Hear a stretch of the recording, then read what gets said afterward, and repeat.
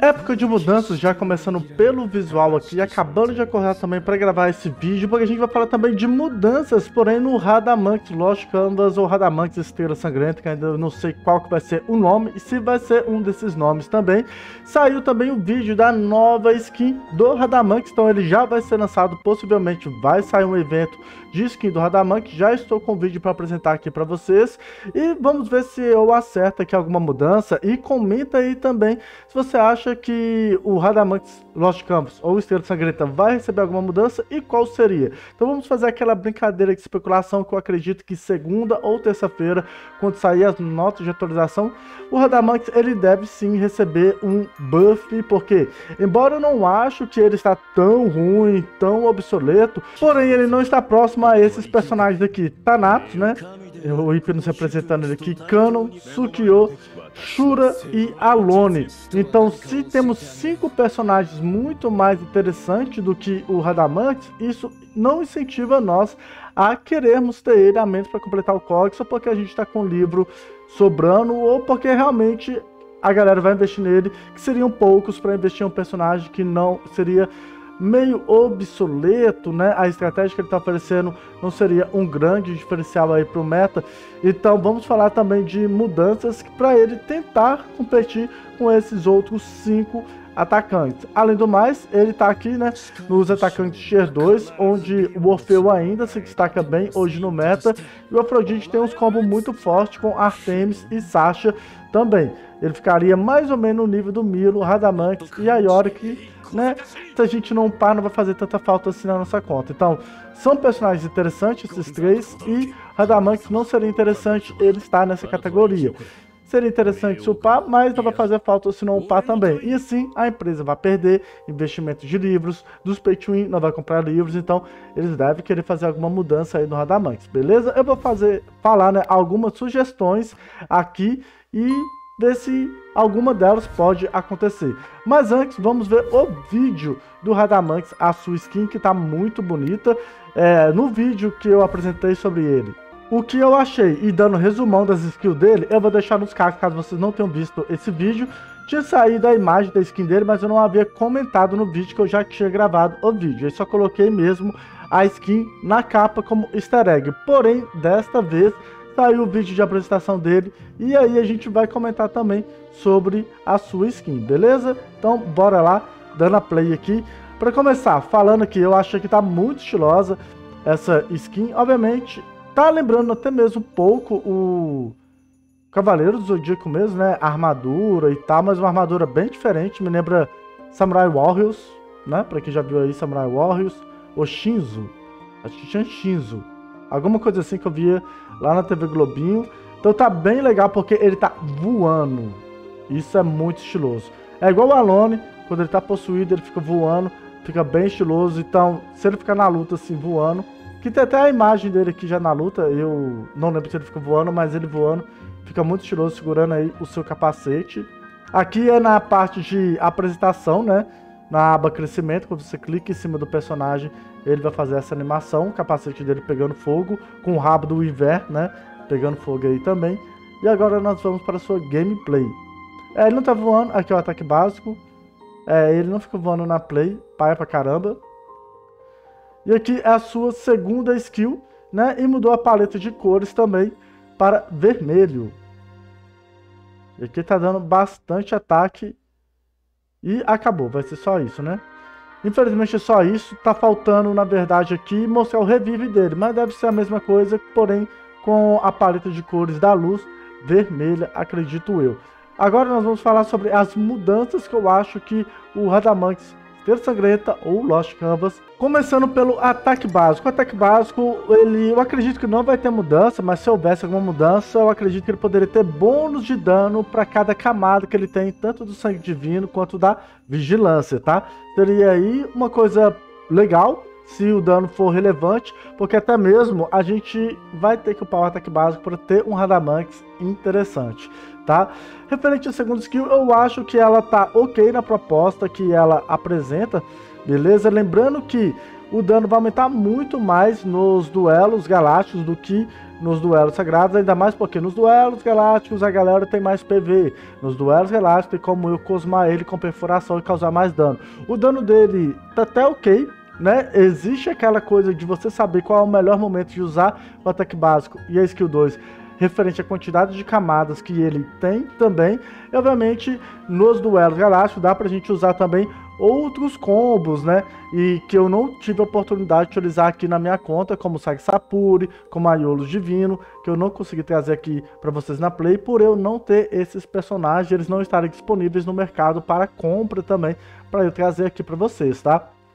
Então, eu acredito que essa skill, ela tá legal do jeito que tá, a mecânica tá legal, né? Não deixa ele muito quebrado, mas não deixa ele muito flop, o que deixa ele com aquele ar de duvidoso é sua skill 3 e skill 4, que é o que a gente vai falar agora.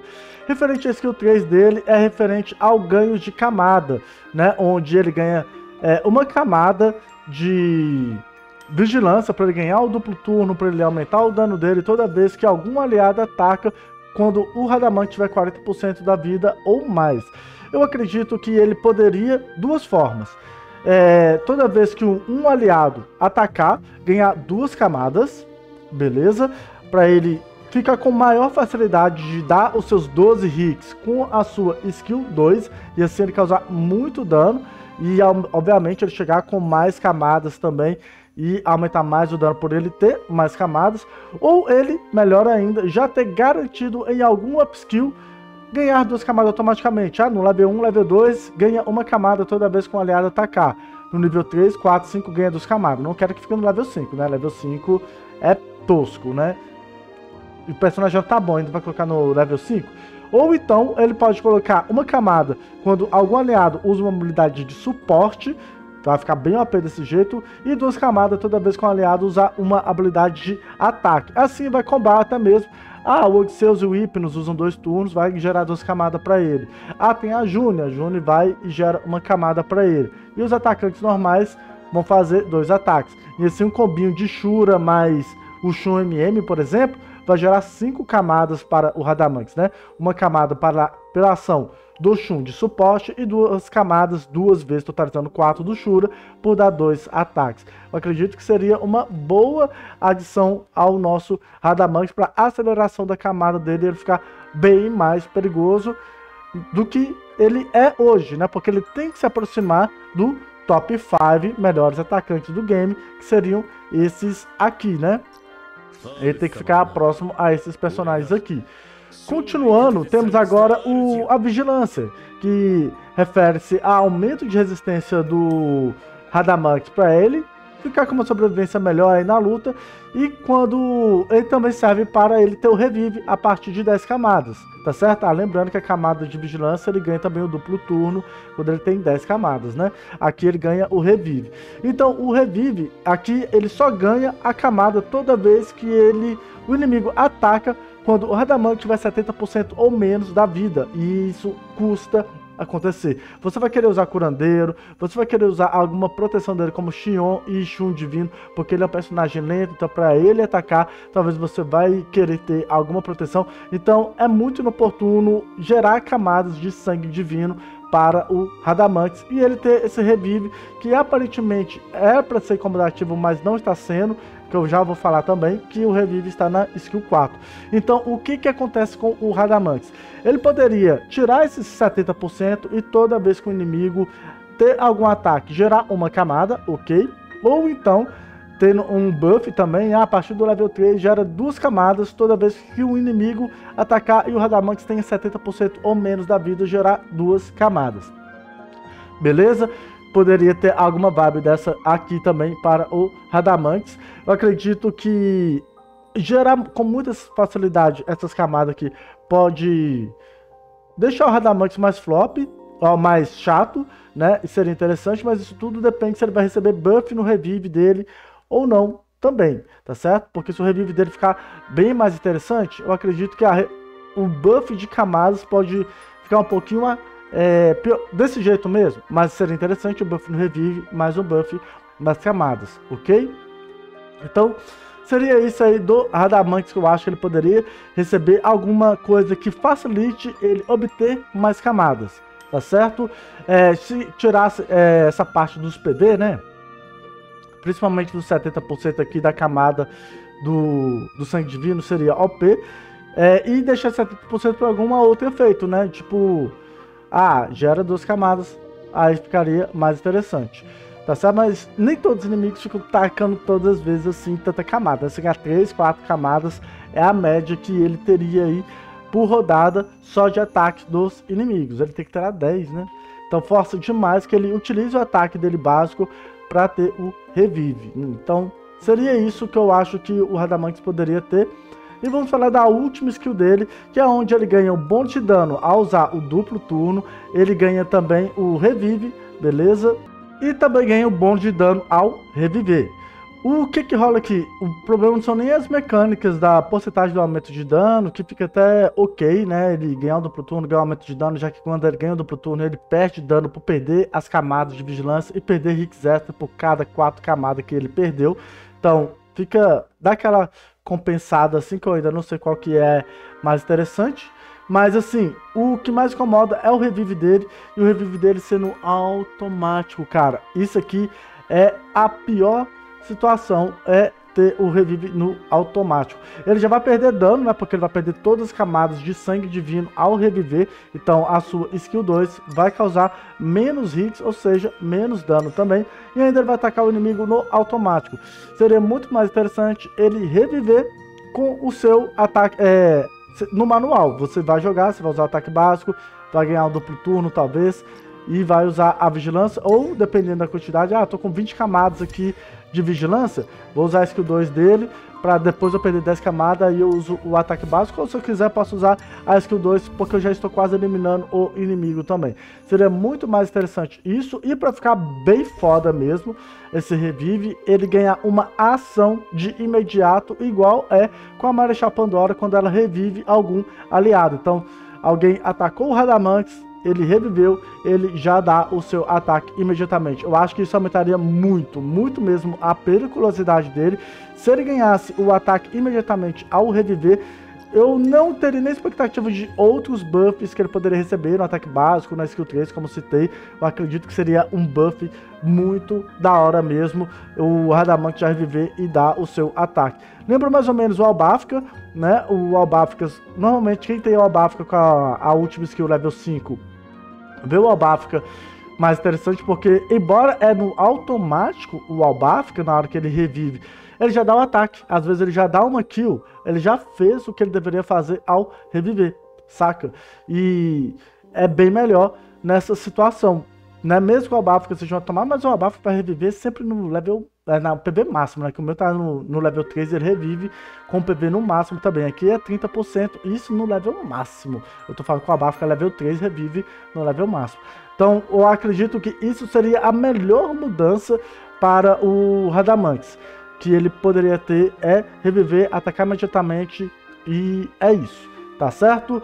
Então, essas são algumas sugestões que eu acredito que o Radamantes possa receber de buff. Deve chegar aí na atualização possivelmente na segunda-feira. Se tiver alterações, vocês estão ligados, eu vou trazer o vídeo e vou comentar com vocês também. E depois eu devo trazer um novo vídeo de upskill do Radamantes, tá? Que o meu vídeo de upskill eu não contava que o ataque básico seria tão importante igual está sendo aqui no game. E, cara, ele tá um personagem muito caro. Hoje eu diria que por 4 seria mais ou menos. Você gastaria 24 livros com um personagem mais ou menos? É, é, é, muito, é muita coisa para gastar num personagem que, sei lá, o Shura Divino, você gasta 18 livros e seria bem melhor do que ele. Bem, bem melhor do que ele. Um Shura 4441, saca? Então é muito livro para pouca coisa. Um cano de gêmeos, 1451, que é 16 livros, já seria para mim melhor do que um Radamanx Full 4. Saca o espírito da coisa? Então, é tenso o Radamank por ser um alto investimento e termos opções bem melhores que são mais efetivos do que ele, aparentemente, tá? Mas eu vou trazer também, semana que vem, gameplays dele nos Duelos Galácticos pra gente bater mais papo sobre ele e vamos ver se ele vai ter alterações, que eu acredito que sim, ele deva ter alterações, porque né, a Tencent vai querer vender livros azuis e se for igual a Asmita, que deve ter tido um rendimento de livros azuis vendido muito baixo, dois meses seguidos é foda, né? Então é isso, galera. Esse aí então são as minhas especulações do que, que eu acho que o Radamanx Lost Canvas possa ter aí no game. Comenta aí o que, que você acha que ele possa ter de mudanças, o que, que você gostaria que ele tivesse de mudanças, né? Obviamente, quanto mais diferente, mais. É, como posso dizer? A, seja muito abrupta né, a mudança, menos chance ele vai ter. Eu deixei alguma coisa mais realista aqui, né, sem mudar nenhuma mecânica dele, para ver alguma coisa mais realista e essa aí é a minha especulação. Quais dessas mudanças vocês gostariam que ele tivesse, que eu citei aqui, e quais mudanças vocês gostariam que ele tivesse, de acordo com a sua opinião? Deixe aí nos comentários e a gente se vê no próximo vídeo. Fica ligado, vou deixar o vídeo nos cards também, o que, eu achei ao jogar com o Radamanx. Valeu e fui!